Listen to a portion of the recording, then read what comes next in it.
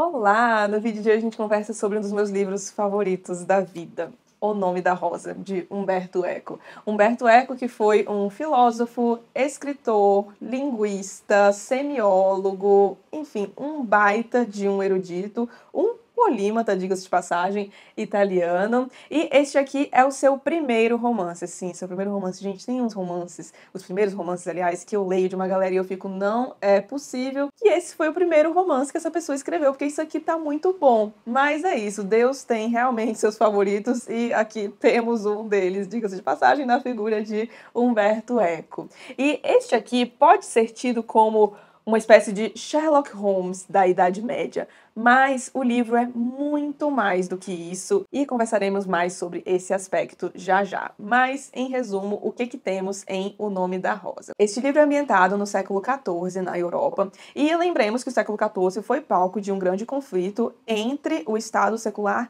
e a Igreja, que era uma instituição muito poderosa, tinha muitas posses, muitas riquezas, muito poder político e isso acabou incomodando alguns reis e imperadores que estavam buscando expandir expandir seus domínios e seus poderes.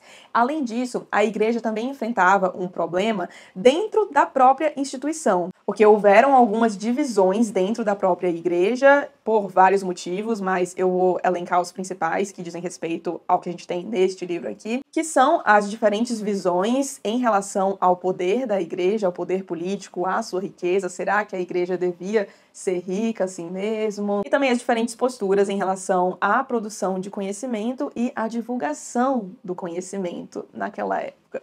Vamos falar um pouquinho mais sobre o enredo e aí dá para a gente entender melhor como é que essas questões são inseridas aqui em O Nome da Rosa. Pois bem, o primeiro capítulo deste livro é intitulado Naturalmente um Manuscrito e nesse capítulo um narrador desconhecido vai falar pra gente que ele encontrou um manuscrito medieval onde um monge chamado Adso de Melk fazia um relato muito interessante. E esse narrador diz ter tido vários problemas em relação a esse manuscrito, porque primeiro ele acha o manuscrito manuscrito. Aí depois, por algumas circunstâncias que a gente fica sabendo aqui, mas não completamente, ele acaba perdendo esse manuscrito. Depois ele entra em contato com essa história novamente, mas aí já não mencionava o nome do monge, que era o tal do Adso de Melk, mas era a mesma história. Enfim, ele vai ficando com aquilo na cabeça, acaba tomando várias notas daquela história, resolve fazer a sua tradução e publica o livro porque ele considerou que o relato era muito interessante e é isso que nós temos aqui. E aí a gente vai para a história do Adso de Melk. No comecinho do livro, ele fala pra gente que está rememorando alguns dos acontecimentos que ele vivenciou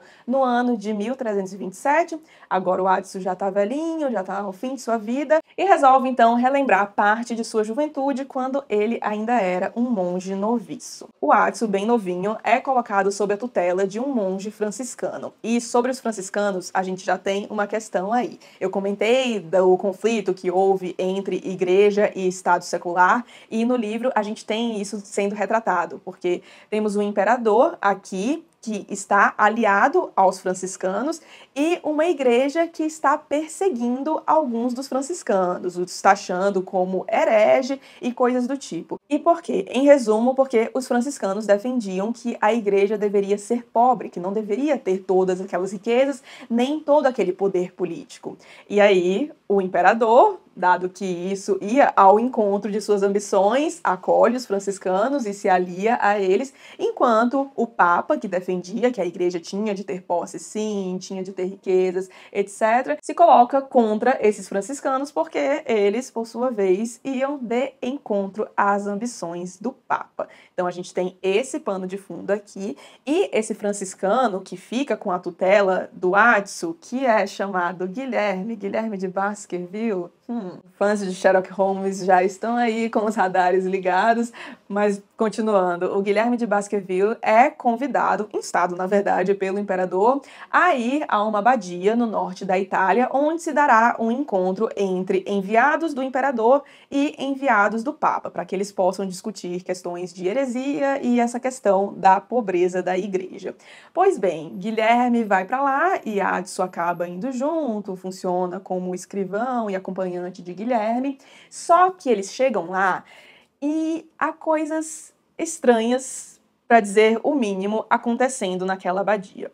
Primeiro que eles chegam ali e logo o abade já dá um jeito de falar com Guilherme, e aí chega, então, a gente teve uma morte que ocorreu aqui recentemente, circunstâncias muito esquisitas, e eu queria que você investigasse isso, porque o Guilherme é tido como essa pessoa bastante racional, sagaz, que consegue ligar pontos muito bem, inclusive quando ele chega lá na abadia, ele já faz um negócio ali que, meu Deus do céu, nem Sherlock Holmes conseguiu conseguiria fazer algo do tipo, acredito eu, mostrando aí seus poderes de dedução. Então Abade, tendo provas dessa destreza de Guilherme, pede que ele investigue aquela morte. E Guilherme, que adorava um enigma, botar os neurônios para funcionar, se põe a investigar, então começa a falar com os monges, descobrir como é que funcionava a vida naquela abadia. Só que pouquíssimo tempo depois de eles chegarem, um outro monge morre e esse será só o segundo de uma série de assassinatos dentro daquela abadia todos de uma maneira bastante misteriosa.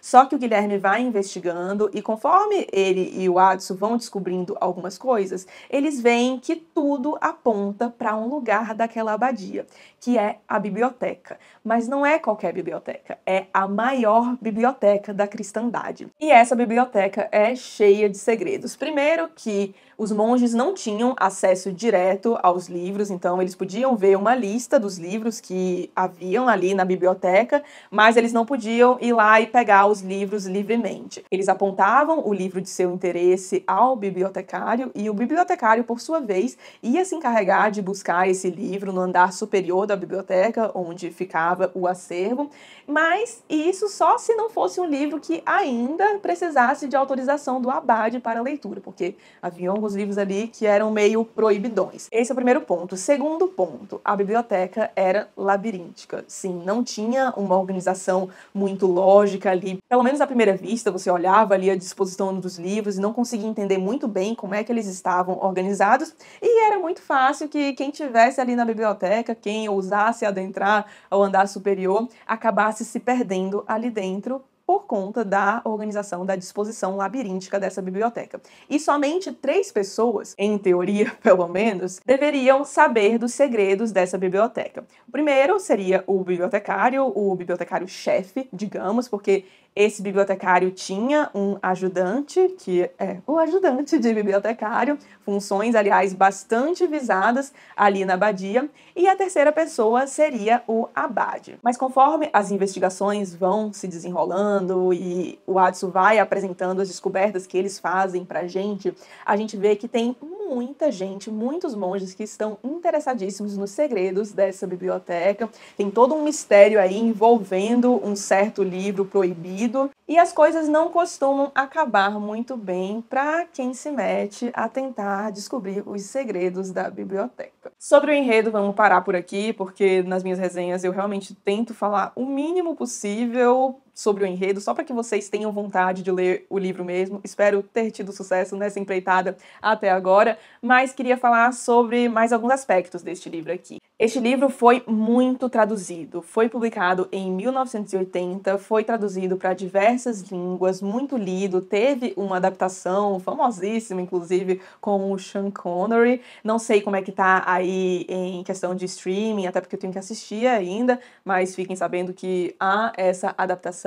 E isso acabou sendo uma surpresa para o próprio Humberto Eco, porque ele não esperava que o livro fosse ser tão lido assim. Na cabeça dele, este, na verdade, era um livro que havia sido escrito para poucos. E explico. Este livro aqui, como eu falei lá no começo do vídeo, realmente pode ser olhado, digamos, como um Sherlock Holmes da Idade Média, porque a gente tem esse romance policial aqui muito interessante rolando, um baita de um mistério, uma mente muito inteligente por trás disso tudo, mas como também disse, o livro vai muito além disso. O Humberto Eco era um grande erudito e ele coloca aqui diversas questões de cunho filosófico. Vou citar só algumas aqui para vocês terem uma ideia. Tem essa questão do poder da igreja, então, será que a igreja devia ter todo esse poder político mesmo? Será que a igreja deveria ser rica? E a questão do conhecimento? Será que era legal que boa parte do conhecimento existente no mundo estivesse confinado dentro dos monastérios e com o acesso de muito poucos? Tem também uma questão que recebe muito foco aqui, que é a questão do riso. Será que Jesus riu? A gente tem dois personagens aqui que discutem muito sobre isso. Um deles acredita no riso como sendo algo bom e o outro não, acha que o riso é algo muito subversivo e que deve ser combatido. E essa discussão é interessantíssima porque a gente vê aqui como muitos são contra o riso, porque através do riso pode-se dizer qualquer coisa, inclusive a verdade. Se eu não me engano, quem disse isso foi Freud eu adoro essa frase. E também porque é uma discussão através da qual a gente pode fazer muitos paralelos com eventos históricos. Por que, que muitas vezes o humor foi combatido? Ou também, por que será que muitos escritores recorriam ao humor ou o absurdo para representar certas situações? Pois é, discussão interessantíssima rolando aqui sobre esse tema. A gente também tem tradução sendo discutida aqui, transmissão do conhecimento, e o Humberto Eco era uma autoridade em semiótica. Então ele insere aqui diversos signos, ligações entre eles, diversos símbolos, a começar pelo próprio nome do livro. E por isso que ele achava que era um livro para poucos, porque ele não imaginava que fossem muitos aqueles que se interessavam por essas questões mais filosóficas apresentadas. Só que, para mim, é aí que talvez esteja a genialidade do livro, porque a gente tem todas essas discussões rolando, discussões de cunho filosófico, etc., mas numa embalagem, digamos, de romance policial. E aí eu acho que o livro acaba agradando diversos públicos, porque o leitor de romance policial certamente vai ficar satisfeito com o que ele encontra aqui, porque o mistério é muito interessante, a solução do mistério é mais interessante ainda,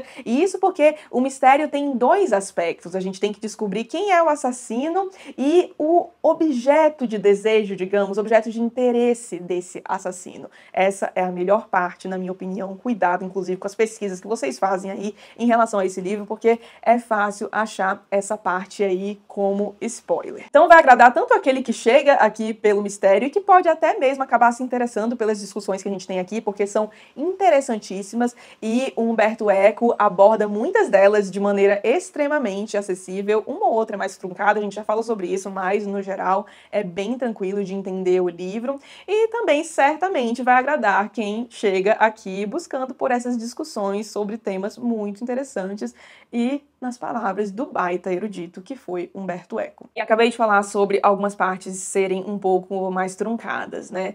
Pois bem, isso diz respeito principalmente ao começo do livro. Eu fiz uma leitura conjunta deste livro aqui e teve uma galera que teve dificuldade com o começo do livro. Entretanto, devo dizer que isso foi feito de maneira proposital pelo próprio Humberto Eco. Ele dizia que o começo desse livro era como uma penitência e que depois o leitor seria seria recompensado por isso. E realmente, porque parece que o começo do livro é meio que para te aclimatar e depois o livro deslancha de uma maneira que você não consegue parar de ler. Como eu disse, eu fiz uma leitura conjunta do livro e muita gente terminou antes do prazo porque o livro é assim, na hora que deslancha você não consegue parar de ler e é bem o comecinho mesmo, tá? Não é nada tipo, ai meu Deus, 200 páginas de perrengue. Não, fique tranquilo, ainda mais que o esforço empregado no início vai valer a pena. Outra coisa, a gente tem aqui no livro diversas citações em latim.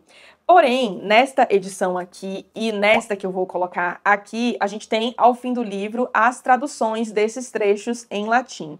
Da primeira vez que eu li, eu li numa outra edição, que é esta aqui, vou deixar a capa para vocês, e nesta edição não havia tradução dos trechos em latim. Então foi lá Paloma laboriosamente traduzindo. Aqui, felizmente, já temos isso feito. Então fica a dica aí, se você não quer ter o trabalho de traduzir algumas passagens, porque algumas são importantes, não todas. Tem umas que, ai, eu fiquei, poxa, não precisava ter traduzido isso, não precisava ter tido esse trabalho. Mas tem outras que são importantes sim. Mas as edições atuais do livro, que é esta aqui em capa dura e esta brochura, estão saindo com a tradução dos trechos em latim. Sobre textos complementares aí, para quem quer se aprofundar na leitura. Eu li três e o primeiro, que é o melhor, or deles, na minha opinião, é o que você encontra nessas edições novas. Nossa, tem um pós-fácil aqui que é escrito pelo próprio Humberto Eco, acho que o nome do texto é pós-fácil, pós-escrito, na verdade. Pós-escrito ao nome da Rosa. Sério, ali tem uma aula de como criar um romance. É muito, muito, muito bom mesmo, vale muito a leitura e já tá até no livro que você vai comprar, ou seja, maravilhoso. Eu li também este livro aqui, intitulado Nos Labirintos de Eco. E, bom, o livro trouxe muitas informações interessantes para mim, as quais eu talvez não tivesse acesso de outro modo mas o viés do autor me incomodou bastante. E eu não tenho problema em perceber o viés dos autores, não, tá? Mas neste livro aqui, o viés é fortíssimo e o que me incomodou de verdade foi a abordagem que o autor dá a certos temas. Eu falei um pouco mais sobre isso no vídeo de leituras do mês que foi ao ar na semana passada ou retrasada aqui no canal. Vou deixar o link aqui para vocês. E, por fim, li também o The Key to the Name of the Rose. Tem algumas coisas bem interessantes aqui, eles fazem um apanhado de figuras históricas que aparecem no romance, que foram importantes para a construção de alguns personagens, isso é bem legal. Mas tem alguns problemas em relação à edição e eu discuto mais sobre isso no vídeo de leituras do mês que está linkado aqui também.